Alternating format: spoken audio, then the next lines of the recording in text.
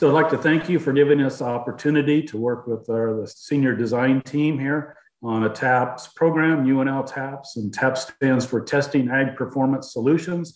Uh, I'm Chuck Burr. I'm an extension educator located in North Platte. Along with me today is Krystle Rhodes. Krystle is our TAPS manager, and Daran Rudnick will also be on the, the contact information uh, as we get a little bit deeper into this TAPS uh, design project. So this kind of a background on our TAPS program. This is our fifth season, fifth growing season, and it's really a unique farm management competition. So all these different farmers, whether they be individuals or on a team, are competing against each other and also competing against UNL with our recommendations for crop production. Uh, so we started back in 2017 really to promote profitability and efficiency in crop production. And really what we've established here is a peer-to-peer network uh, really allows our participants to test new methods, new products. You know, maybe they've never had that experience of working with satellite imagery or drone imagery. You know, what does that mean for their farming operation? Can it save them some money on the nitrogen application, nitrogen fertilizer, or maybe reduced irrigation application? So it gives them the chance to test this out before they go home and apply it on their farming operation.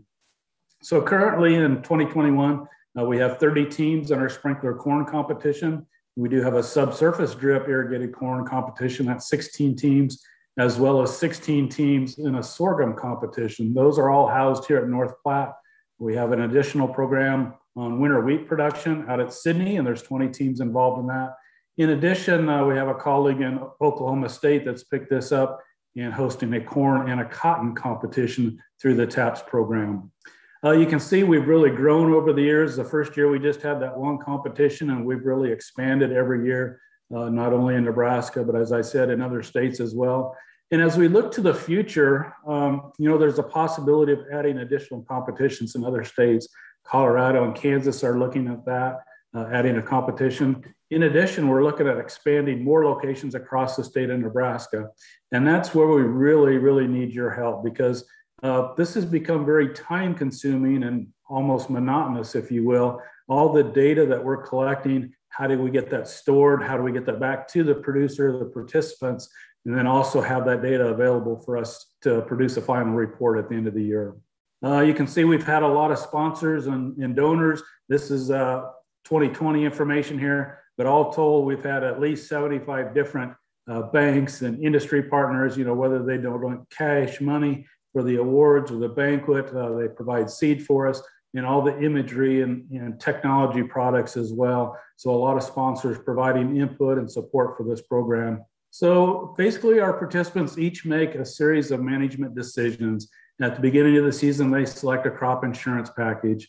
They tell us what hybrid to plant and at what seeding rate to plant that hybrid. Uh, they also tell us how much nitrogen to apply and when to apply that nitrogen. And there's actually six different time periods when they can apply nitrogen, whether it be before the crop's planted or as the crop's growing in the field through fertigation, through our irrigation system. Uh, they also tell us when to apply irrigation water, how much water to apply, as well as marketing decisions. So they have to tell us how they would market their bushels on a simulated either 1,000 or 3,000 acre corn farm or a sorghum farm. So basically, they have to market between 300 to 700,000 bushels during the growing season. And we keep track of all this information. You know, when they make a nitrogen decision, we, we get an email on that. And then it's been Krystle's responsibility uh, to take that information and, and put it where it needs to go. So I'll turn it over to Krystle now to explain that in more detail. Thanks, Chuck. So I'm going to go into a little bit of detail on how we do it right now like Chuck said, it's a little bit of a monotonous project. Um, takes a lot of time, and it's definitely a multi-step project. But it's very detail oriented, and so it's it's tough for us to do it um, just because there's a lot of ways we could make human error. So we're looking to have a software program or an Excel database um, produced to collect and report this data to participants in real time as they make the decision. So this kind of shows how it is processed, and I will go into each of these um, separately.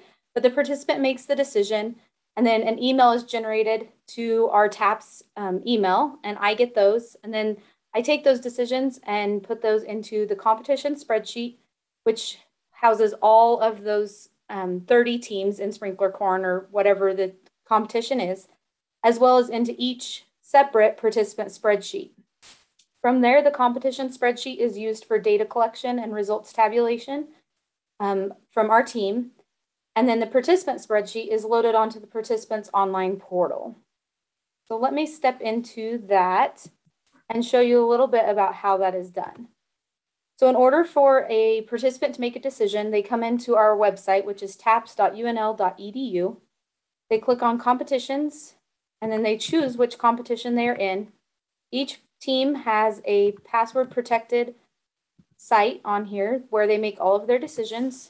They are provided a password at the beginning of the year that they use. And then once they get in here, they go in to make all of their decisions um, right here on the right hand side. We also provide them with their the record, which is that single spreadsheet that we put everything into. So it is uploaded here. And then we also take um, plot photos throughout the season, which are also found here. So this this one site of theirs is very important to them. So they just go in and make these decisions in each of these management decision sections. And when they make a decision, it's it generates an email to us. And then from that email, we take it and put it into this main database. So this shows who the participants are. And then their first decision of what irrigation tool, as well as insurance, planting, nitrogen, irrigation, marketing, and then at the end of the year, we will put in their yield data to help determine the winners of the competition. From here, some of it auto feeds into their the participant spreadsheets, and it just shows all of those decisions by competi- or by participant. So they can see here how much nitrogen they've put on, when that's been put on, how much irrigation's been put on, um, the fertigations, and then as well as all of the marketing decisions that they've done. This also generates their budget. So all of those numbers from the management record autofill into the, this budget for all of those decisions they've made. So irrigation, um, their nitrogen decisions, their seed costs, their insurance cost.